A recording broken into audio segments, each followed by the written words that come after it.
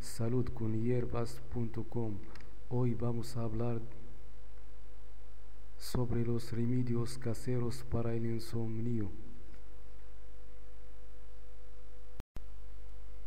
Primero tienes que evitar el chocolate, café y colas con café, cafeína. El primer remedio es tomar una cucharada de nuez moscada en polvo antes de dormir. Nos ayuda a dormir mejor.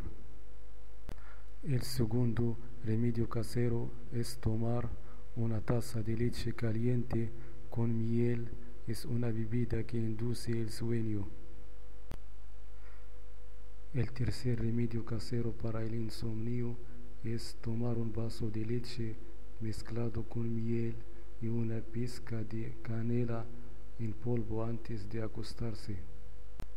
También para tratar el insomnio puedes tomar dos cucharaditas de miel en un vaso de agua caliente y hervir una cucharadita de semillas de lechuga en medio litro de agua hasta que reduce a un tercio y beber la infusión durante el día. Es un remedio casero eficaz para el insomnio. También el consumo de cebolla cruda en ensalada en la cena ofrece un buen sueño por la noche.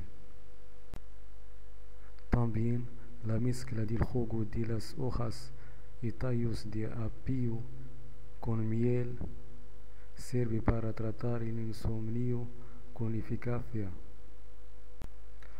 Muchas gracias por visitar nuestras páginas de salud www.saludconhierbas.com También puedes visitar nuestro canal en YouTube Hierbas para Salud. Muchas gracias por todo y hasta otro y hasta otro vídeo de remedios caseros para la salud. Saludos.